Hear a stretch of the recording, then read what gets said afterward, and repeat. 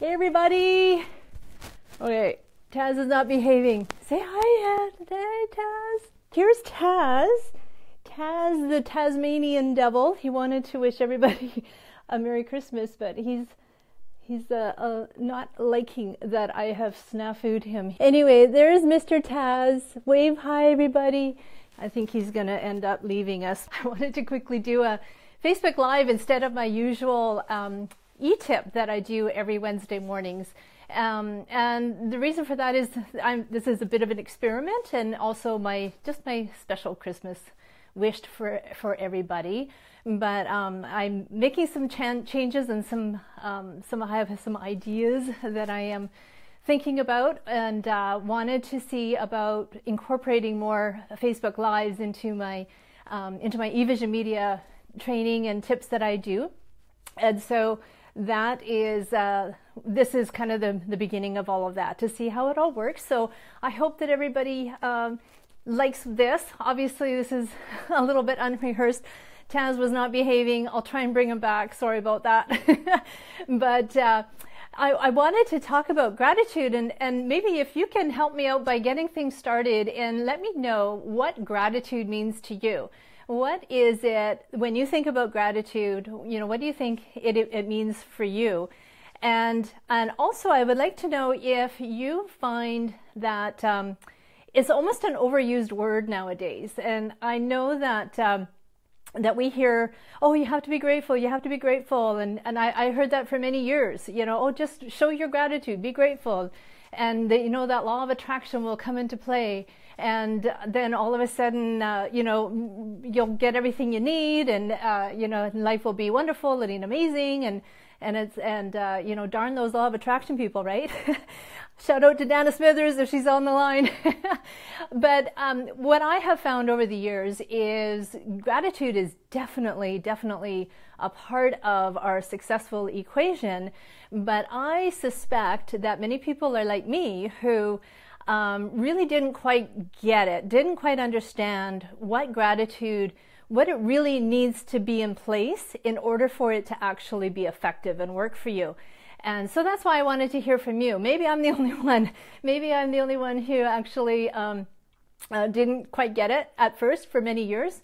And uh, then all of a sudden, I, I, it started to make sense. And then all of a sudden, uh, once I practiced that more often, uh, I was starting to see a lot of uh, results out of it. So, so type in the comments and, and let me know what gratitude means to you, and what is, uh, you know, what is you, what is it that you think you need to do in order to uh, use gratitude in your daily life, and and let's, let's have a, a chit chat about that.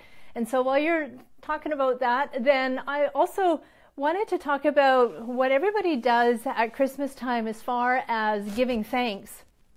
Um, do you have a practice for your business? You know, this this uh, video is more uh, for the entrepreneurs and and business people out in the group, but also, uh, you know, salespeople. Like, there's lots of people who can um, use the the effort of, of giving thanks. And I'm wanting to know what your practice is in giving thanks at Christmas time, and obviously not at Thanksgiving, but at, at Christmas time do you make it a practice of letting people know how grateful you are that they are a part of your life somehow?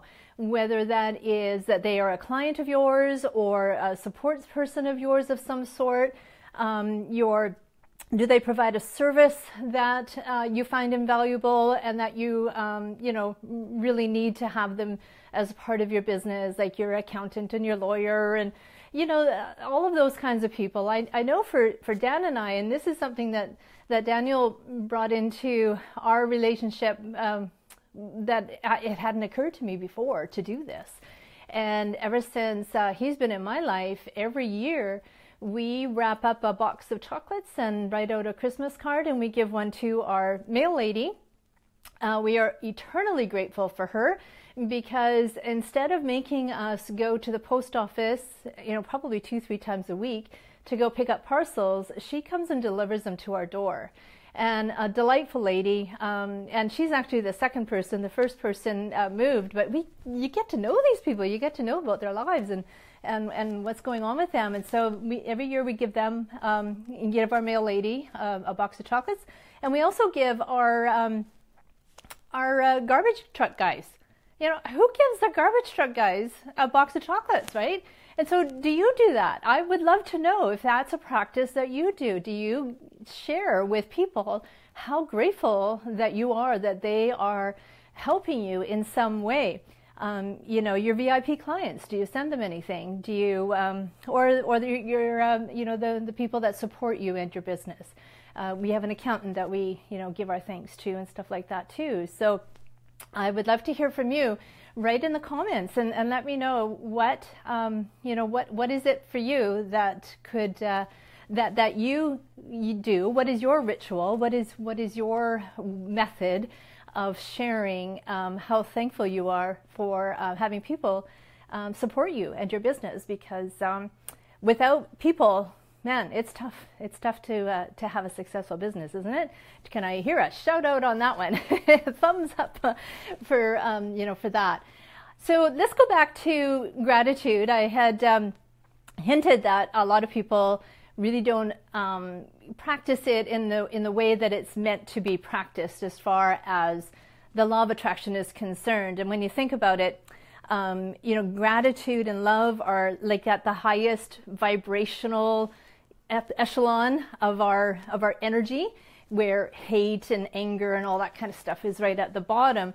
So it it when it i'm not going to go into a lot of philosophy about how uh, vibrationally you know quantum physics works in this field but do know that it is science based and i think that's one of the things that really um, you know caught my eye is that uh, you know it's, it's not just fluff. Uh, uh, you know this stuff really is scientifically based and so if you want to learn way more about how the law of attraction works, you know, go ahead and, uh, and, and, look up Dana Smithers. She's a law of attraction expert coach, and she, uh, you know, knows this stuff um, much, much uh, more deeper. But anyway, my point is, is that in um, when we're told that oh, just be grateful, and, and more of what you're grateful for will come back to you, which is very true.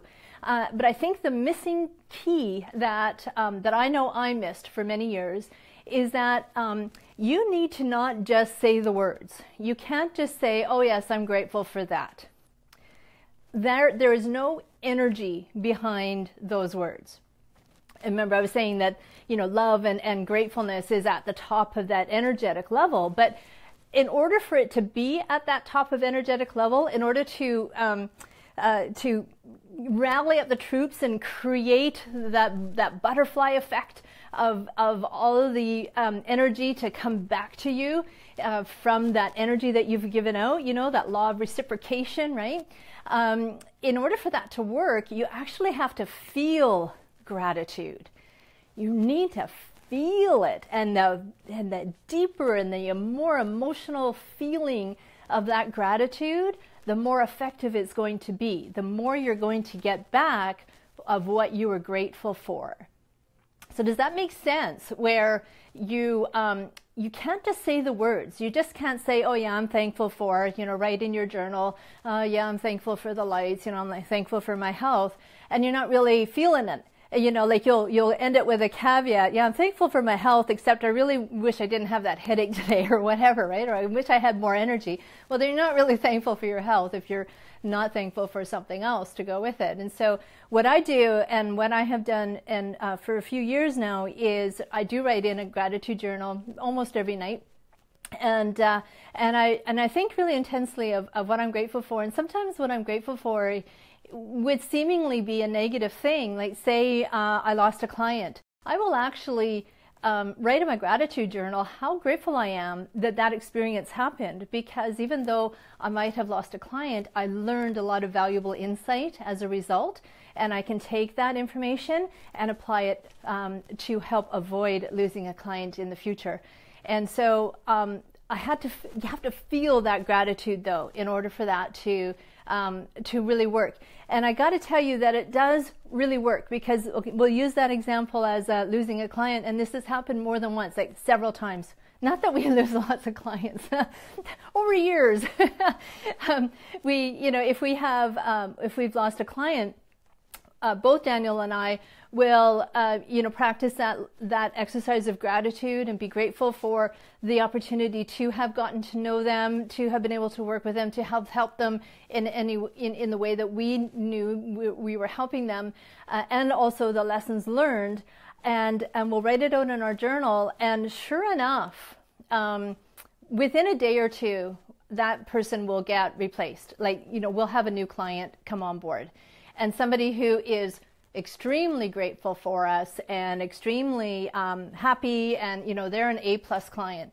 And so that that's the, that's what i wanted to share with you is you know feel that gratitude and uh, and write it in your gratitude journal.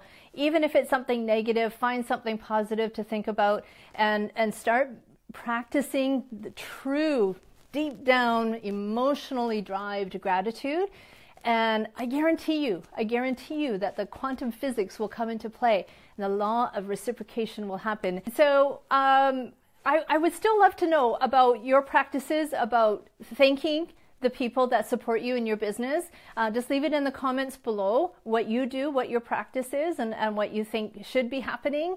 And, and also, um, you know, share with me your practice of, of gratitude and any stories that you might have that um, support that that you know I'm, I'm, not the only one out there i know i'm not where gratitude really does make a big difference so um, i wanted to wish everybody a wonderful amazing holiday season i know that not everybody um, is a practicing christian and or uh, practices um, christmas at all and and I want to respect that. And so even though obviously I do, I have our, our tree in the background here.